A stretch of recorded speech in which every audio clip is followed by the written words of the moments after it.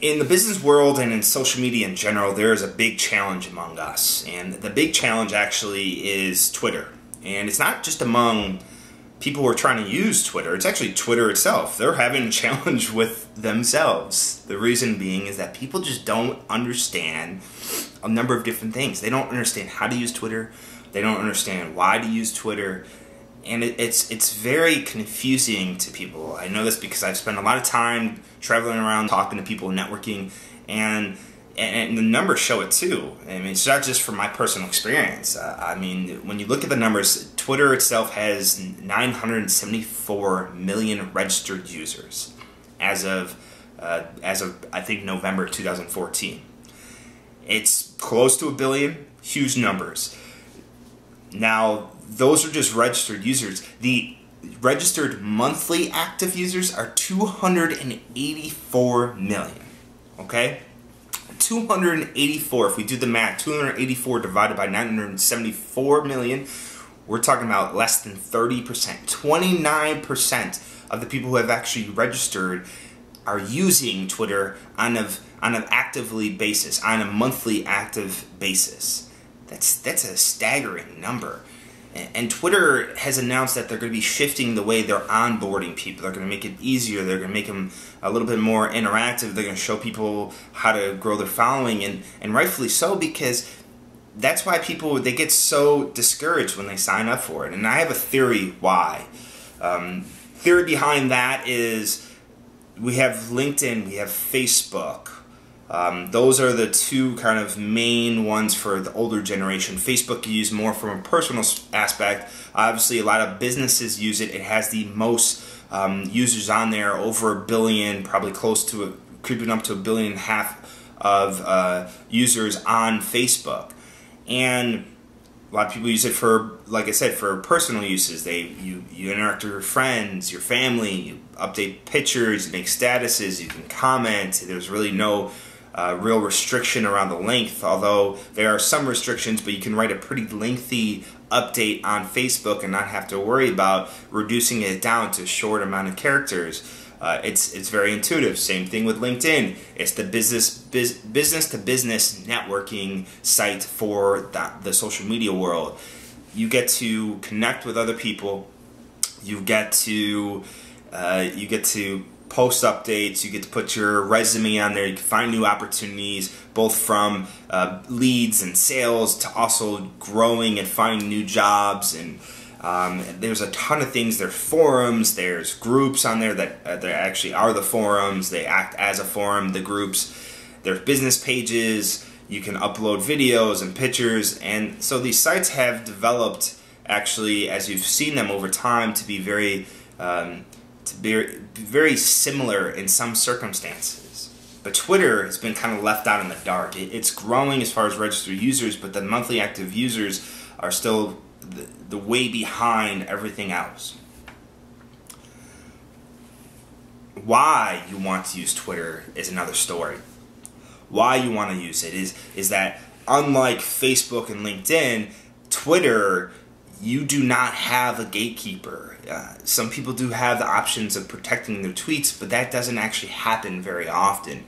Um, what happens here is that uh, Twitter is a very one on one interactive tool. You can talk to anybody. You want to talk to a celebrity, you can shoot them a tweet. They will receive it. Whether they respond to it is another story. But if you've seen a lot of them, they do respond because they have a chance now to, they have a tool not just a chance, but they have a tool that allows them to interact with the fans like no other. And it builds up people's credibilities, it builds up people's brands. People like Kevin Hart um, might have never had the, the opportunities that he had if it wasn't for his fans and what he's done on his social media. It's not just Twitter, but it's also like Instagram but he interacts with his fan base and he can talk with them and he's he's grown his numbers and his, his influence by taking advantage of those opportunities on social media on twitter and he can go now to these these heads these executives and say you know what i have the fan base to do this I, I am a brand. I will make this movie more than what it was if it wasn't for my brand. And so he has the opportunity to do that. And even people beyond that, Um, I've had a, a, friend of mine that I worked with back in 2012, the later part of 2012, that actually got uh, grew his business substantially by six figures, and only found two new clients through this. But he he found an opportunity through using Twitter, and if it wasn't for Twitter, never would have had it. I've talked to people who run chats on Twitter, and they make a living and a pretty good living by actually selling sponsorships to their chats. There are people that I know, the business owners, um, that that actually credit Twitter specifically for ninety percent of their sales, and this is even in the U.S. This is beyond. This is global. So Twitter itself is a phenomenal tool. I have some numbers for you too. Let, let, me. So those are stories. Let me tell you some actual numbers here. So from a study conducted, um, it, it shows that 80% of Twitter users are more likely to recommend brands they follow. That's a big thing. We talk about in the olden days, you didn't have tools like this that could spread a word of mouth. You just had people talking. Now you have this electronic tool that just once you say something, not just one person will see it. You're talking about an average person on Twitter has about 205 followers. So you're saying one person says something, 205 people say it. So it's a, it's a big number there. Um, 60, 67% of Twitter users are more likely to buy from brands they follow. And you have to think about this too. We're not just talking about big brands. We're not talking about Canon or Apple or Coca Cola or Kraft. We're talking about brands like a, a, a, small business brand. We're talking about a personal brand. If you're selling something and you have a product for people to purchase, you are a brand. And so, uh, so again, that number, 67% of Twitter users are more likely to buy from a brand they follow. So if they're following you and you're selling something and they know this and they're aware of that, they there's a 67% chance more like more likely that they will purchase from you. More than 78%, 73% of followers want updates on future products. Again, you have something, people want to know about it. If they're following you, they want to know about it. They understand what you're doing as long as you've put it out there, which I'm sure you have.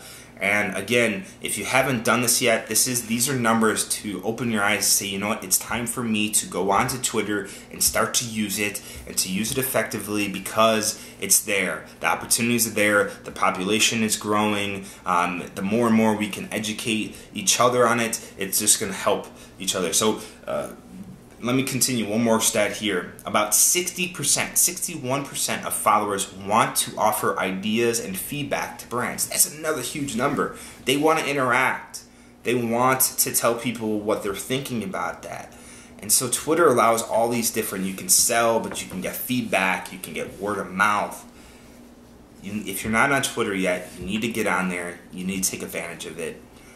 I've developed a, a book, Chirp Chirp, that is a, a, a guide. It's a step by step guide to doing exactly this.